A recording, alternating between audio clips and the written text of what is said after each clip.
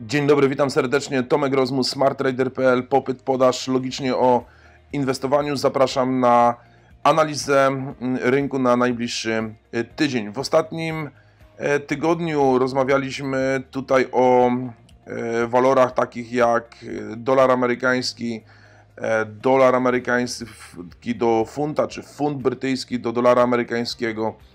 Również o takich walorach jak złoto, srebro. Zachęcam do powrotu do tych analiz i szybki update. Proszę zwrócić uwagę, oczywiście standardowo zaczynamy od indeksu dolarowego. Indeks dolarowy wrócił do strefy, z której spodziewaliśmy się odwrócenia. To odwrócenie w tym momencie następuje dokładnie na sesji piątkowej, także dzisiejsza sesja delikatnie na plus. Widzimy wyłamanie, więc w tym momencie możemy przedłużyć sobie ten zapis tej linii, która wyznacza nam tutaj strefę podażową. Ta strefa wprawdzie przebita od dołu, rynek wjeżdża w ten zakres ponownie. Tutaj widzimy już wcześniej, zdecydowanie wcześniej. E, mamy, może zeskrolujemy to jeszcze, albo zrobimy wykres tygodniowy, żeby lepiej to zobaczyć.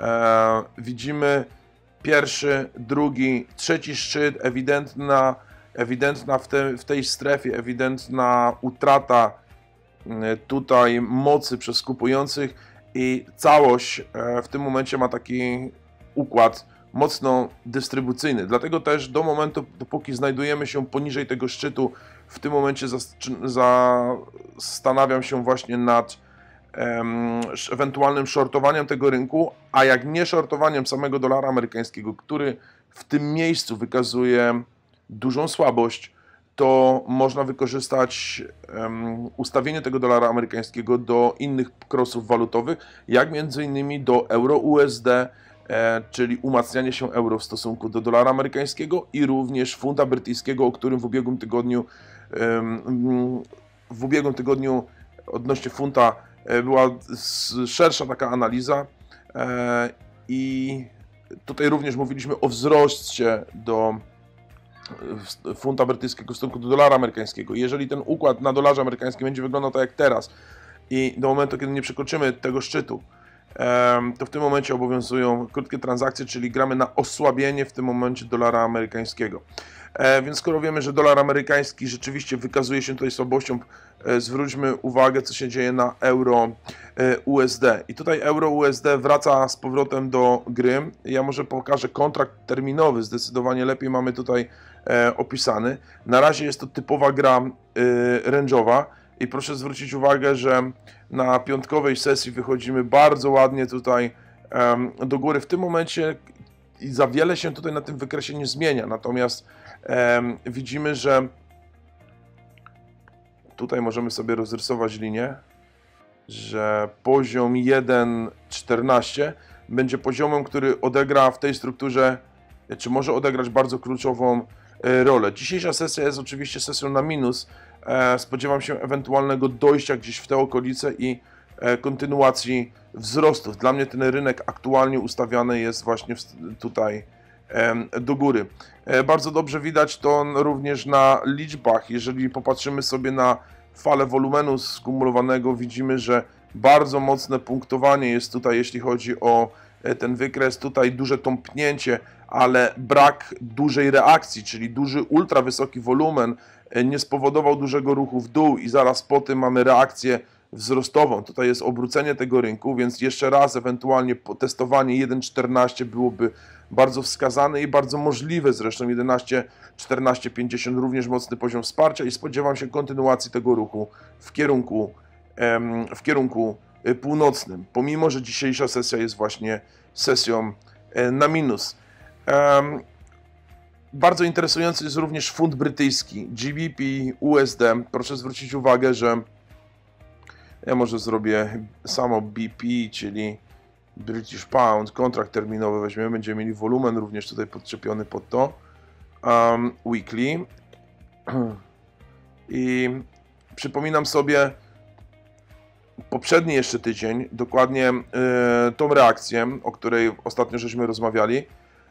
No i fund brytyjski w tym momencie odzyskuje siły. Ja myślę, że znacznie możemy tutaj e, więcej przeatakować, gdzieś 1 nawet 4.00 w e, dłuższym terminie, dlatego że rynek bardzo mocno e, ustawił się w tym miejscu. Tutaj dokonał się taki washout tych poziomów w okolicy 1.28, 1.27, mocne obrócenie i w ubiegłym tygodniu mówiłem tutaj o wzrostach na parze walutowej funt do dolara amerykańskiego i te wzrosty tutaj uważam, że będą, będą kontynuowane. Zresztą jak popatrzymy na funta brytyjskiego e, również z perspektywy wolumenu skumulowanego daily, proszę zwrócić uwagę, że tutaj nastąpiła bardzo mocna reakcja wzrostowa e, i to samo w tym momencie ten układ, który tutaj wystąpił na funcie brytyjskim, on jest w tym momencie na euro USD.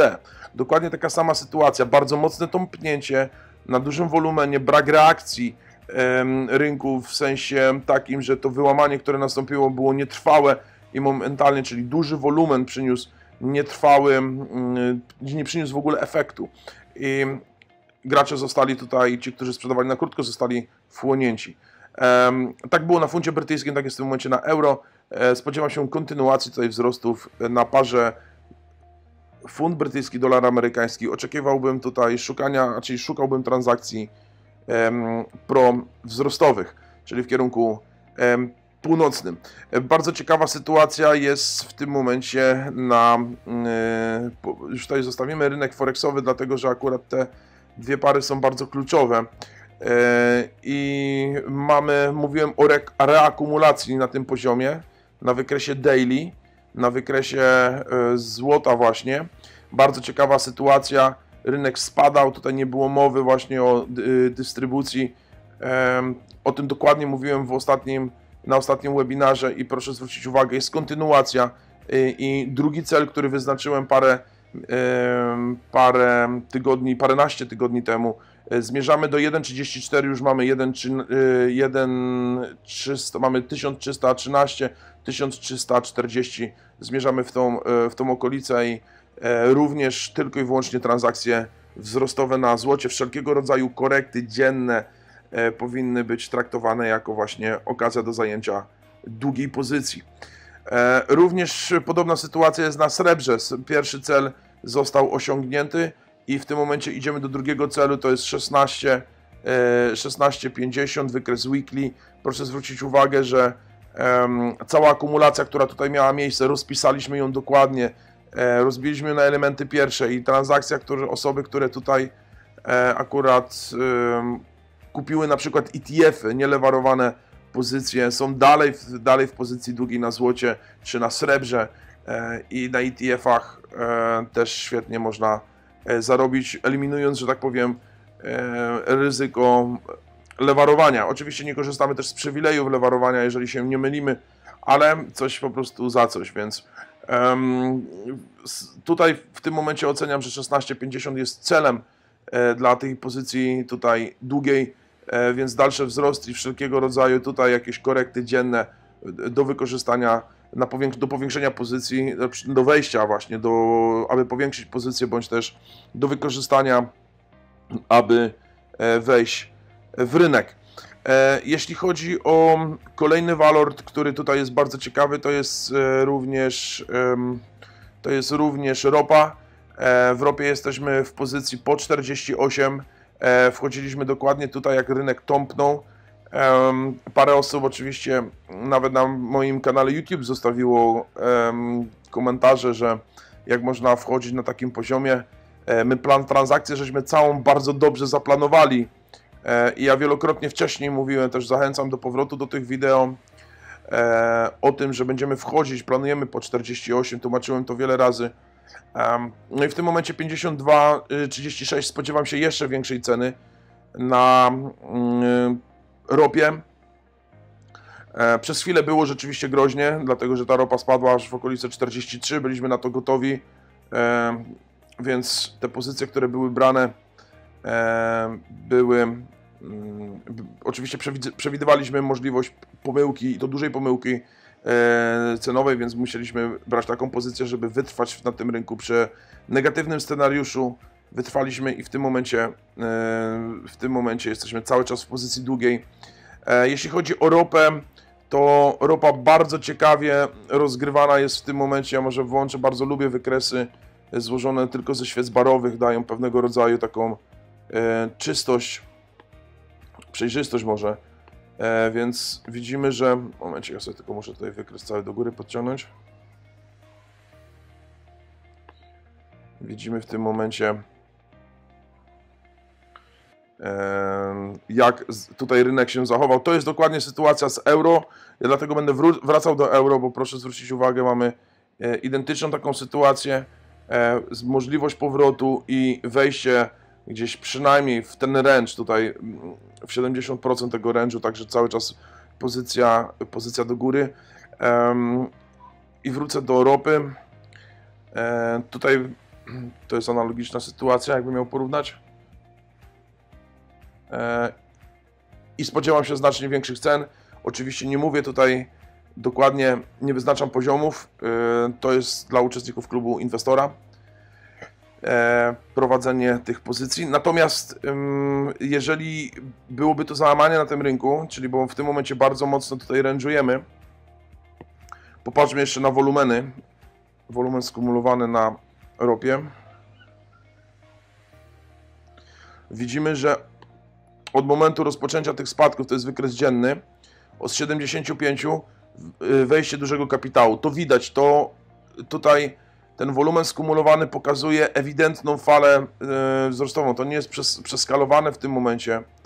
E, największe pieniądze zostały włożone między 44 a 52, więc 50-48 jest bardzo mocnym punktem wsparcia. Spodziewam się wyjścia powyżej nawet 60 e, tutaj dolarów, ale e, tak jak powiedziałem już wcześniej, prowadzenie tych transakcji e, i prowadzenie, wyznaczanie celów dla dokładnie omawiam w klubie inwestora.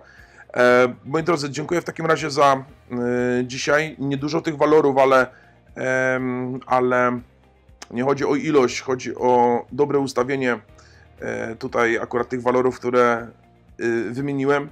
E, Życzę Wam udanych transakcji na rynku. Jeżeli materiał był dla Was pomocny, dajcie łapkę w górę, zostawcie jakiś komentarz, napiszcie e, ewentualnie w komentarzach e, swoje typy na transakcje w tym tygodniu.